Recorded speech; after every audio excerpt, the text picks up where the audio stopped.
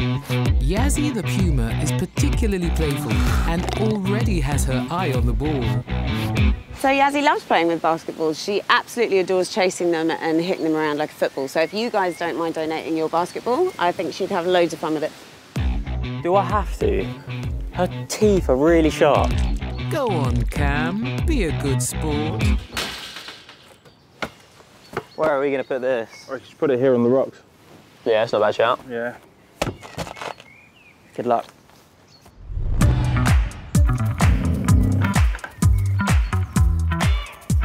Oh, here she comes. Oh, Hey! Oh, proper bouncing it as well. That's so funny.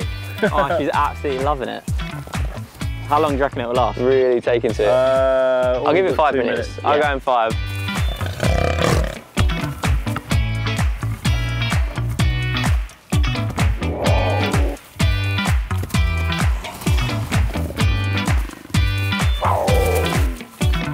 Oh, she's dribbling with it.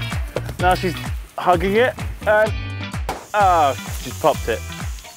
Yazhi one, basketball nil. Well, that went really well. Now she's uh, she's laying on her back and she's using those really big, powerful legs to kind of rake at the ball as she would do with prey.